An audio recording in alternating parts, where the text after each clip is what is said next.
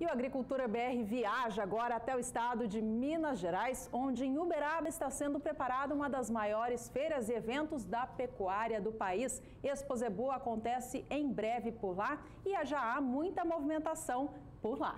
Exatamente, nós estamos aproveitando que a nossa equipe está instalada em Uberaba para conversar com algumas pessoas que são importantes para o agronegócio. Estamos falando bastante sobre irrigação nesta semana e na irrigação tem algumas empresas que acabam se destacando bastante. E é sobre isso que nós vamos falar agora, principalmente sobre a expansão das áreas irrigadas no Brasil, áreas agrícolas no Brasil. Para falar a respeito deste assunto, nós estamos aqui com Carlos Augusto da Vale, ele que está lá no Parque Fernando Costa e conversa conosco. Carlos, um prazer falar com você aqui no Agricultura BR, aqui no canal do Boi.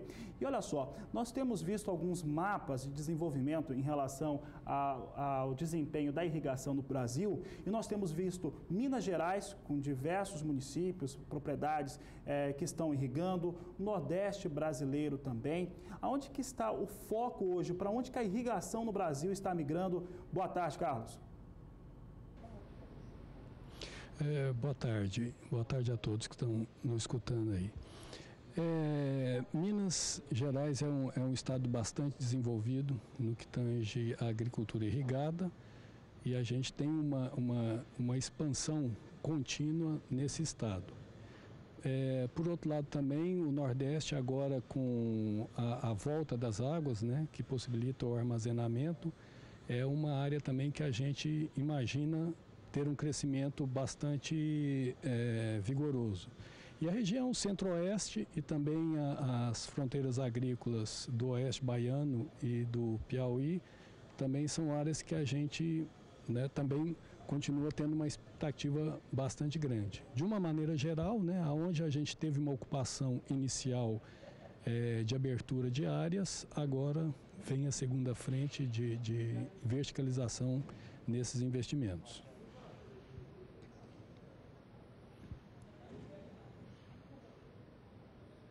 É o tamanho do retorno dela para o produtor?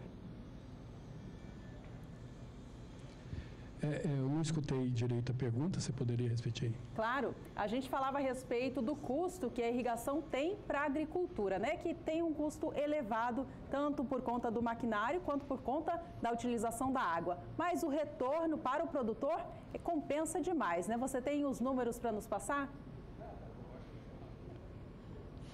Sim, veja bem, é, quando a gente fala em custos no investimento, nós também temos que considerar que a irrigação é um dos, dos poucos equipamentos agrícolas Pessoal, que traz retorno por si só. Ou seja, ocorre um incremento da produtividade porque eu estou utilizando a irrigação. É, em relação aos custos, é bastante compensatório. Né? Nós temos aí culturas já tradicionalmente exploradas como milho, como feijão, é, aqui na região do, do, Triângulo Mineiro, principalmente na área de HF, né, a gente fala em batata, cebola, é, alho principalmente, que são culturas de altíssimo valor agregado e altíssimo investimento, não tem como é, implantar, por exemplo, uma cultura de alho a, a 100, 110 mil reais por hectare, sem ter um, um, uma irrigação por trás para garantir esse investimento. Logicamente, a gente é, tem que cumprir todas as etapas ambientais, né? É, e também da parte de energia fazer um, um, um monitoramento constante porque é um, é um custo expressivo. Né? Uma vez que ele seja bem administrado, também a, a compensação vai acontecer. Carlos, vou aproveitar que você citou esses fatores ambientais. É, nós sabemos que para irrigação tenha o desafio de ter o crédito, de fazer a aquisição do equipamento, muitas vezes tem facilidade para o produtor rural. Mas as outorgas para a utilização da água no solo, ainda por conta dos fatores do meio ambiente, das leis ambientais, elas ainda são um entrave para o Brasil irrigar mais e, quem sabe, chegar a cinco safras em dois anos? Sim, é, eu diria para vocês que sim. É, a gente tem por definição que o crédito rural né, é o fornecimento de recursos de maneira suficiente, adequada e oportuna. Quando é, o crédito não anda junto com as exigências ambientais, a gente tem uma disparidade. Então, hoje, a gente necessita que exista mais agilidade na, na, na, no resultado das consultas de outorga. De fato, hoje, a outorga para nós tem sido um entrave. Não no caso de não ter que, que solicitar esse tipo de, de procedimento.